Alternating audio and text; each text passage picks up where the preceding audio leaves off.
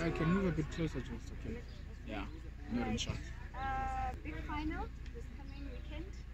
Um, can you just give us your thoughts uh.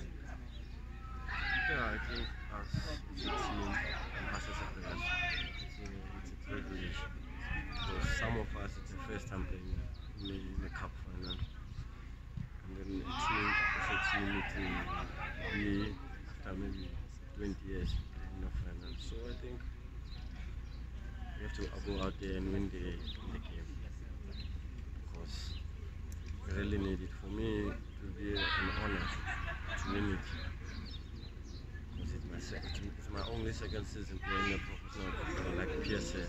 So I think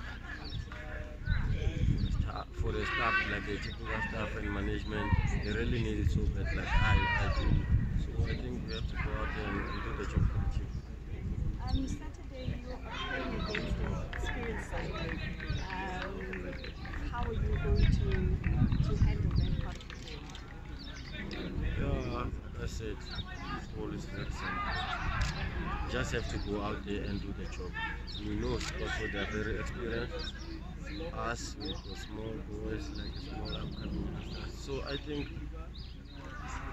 we have to go and do our objective because our objective is go to go out there and try to get the to get a win because it's a cup final. We don't have time for throws and what.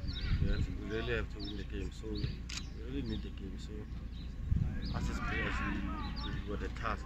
So we have to fulfill our, task.